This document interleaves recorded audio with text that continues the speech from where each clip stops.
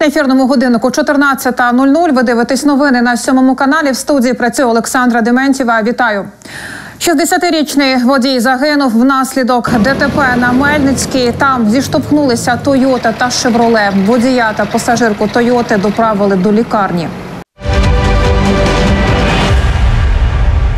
Від учора на Одещині не зареєстровано смертей від коронавірусу. Загалом по Україні з такими показниками лише три області, крім нашої, ще Донецька та Черкаська.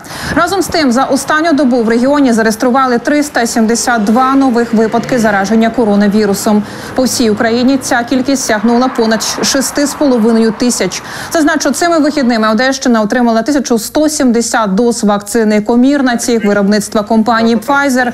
Щеплення нею отримують працівники та підопічні закладів для літніх людей, рятувальники та прикордонники. Всі дози мають використати протягом п'яти днів. Додам, е, це лише перша партія вакцини. Загалом для Одеської області призначено 4680 доз препарату. дорогах розпочинається мотосезон. Тож власники двоколісного транспорту закликають водіїв бути уважними. У суботу мотоволонтери роздавали тематичні листівки. А у мотошколі провели тренінги, які допоможуть зменшити кількість аварій. Мы будем э, вводить в курс дела. Наше мероприятие называется «Азбука выживания», потому что мотоциклетный и двухколесный любой транспорт-вид – это у нас опасный вид транспорта. У разі ДТП з будь-яким двоколісним транспортом водії можуть звернутися за підтримкою, зокрема юридичною, до організації СЕМПО.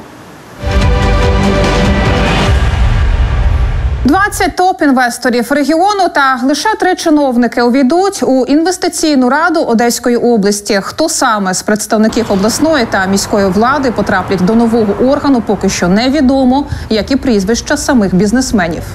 Ну, в першу чергу для бізнесу це є можливість донести про якусь свою е, кричущу проблему. Так? В першу чергу. Причому не як я сказав, не кулуарно, не шляхом якихось там інформаційних війн, вкидів, телеграм-канали, а публічно прийти до основних осіб регіону публічних, прийти і сказати.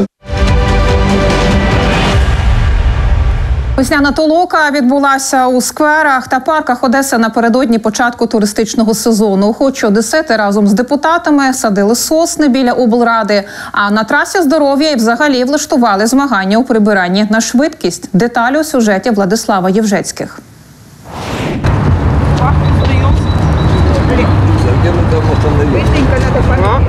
Приблизно півсотні одеситів висаджують дерева у парку біля Одеської облдержадміністрації. Це 30 саджанців сосни, які подарував Львів нашому місту на честь 30-річчя незалежності України. Мы сделали здесь такую небольшую, небольшую клумбу для доращивания.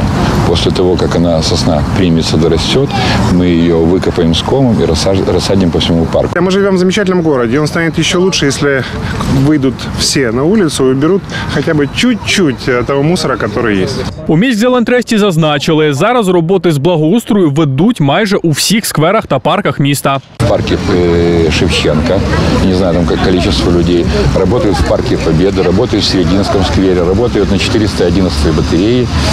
Э, Ну, работа заключается в том, что убираем случайный мусор, обкапываем деревья, выгребаем старую опавшую листву. Ну, просто наводим порядок. А ось на трасі здоров'я на акції Чиста Одеса учасники суботнику поділилися на 20 команд, які змагалися у прибиранні на швидкість. Для каждой команды, которых сегодня 12, расположены э, места, в которые они складируют собранный мусор. Есть критерии к- мешков, которые идут в зачет. В прошлом году было у нас э, полтора часа. В этом году мы решили сократить для того, чтобы привить спортивный дух. Але мотивація в одеситів не тільки спортивна. Одесса наш любимый город, все-таки это как наша квартира, как наш дом. Она должна быть чистой, и нам должно быть жи- здесь жить с удовольствием. Это действительно важно, это позитивно. Здесь, получается, можно и с коллективом лучше познакомиться. И вообще это полезное дело для города. мы ж этим всем дышим, да, есть которые люди, которые на это не обращают внимания, поэтому распространяют мусор, да, А, должна быть какая-то человечность. Подібні суботники одесити влаштовують щотижня. Тож долучитися до активного та корисного відпочинку можете і ви. Владислав Євжецький, Євген Руденко, сьомий канал.